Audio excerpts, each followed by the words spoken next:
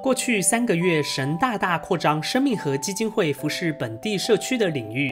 食物发放中心除了分发生鲜食物，并为社区的年长者送货到府，老人家们十分感谢。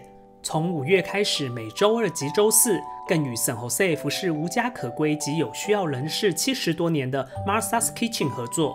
每次固定派发四百份营养乐食给民众。